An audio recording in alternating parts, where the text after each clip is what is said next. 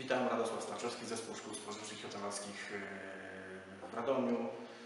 Yy, Wybrałem kierunek hotelarstwo i turystyka na Wyższej Szkole Turystyki i Ekologii w Suchej Beskidzkiej, gdyż jest to zgodne z moimi zainteresowaniami turystyką. Pasjonuję się praktycznie od zawsze. Staram się ją upowszechniać wśród młodych ludzi, ale również i wśród dorosłych.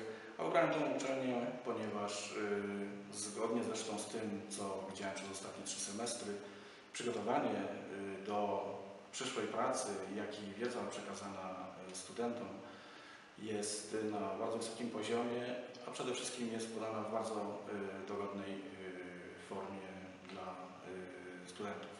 Dlatego gorąco polecam wszystkim tym, którzy chcieliby studiować zarówno ten kierunek, jak i tą uczelnię, ponieważ będzie to również przydatne w przyszłej pracy w szkole, ale sądzę też, że poszerzy nasze horyzonty, a może i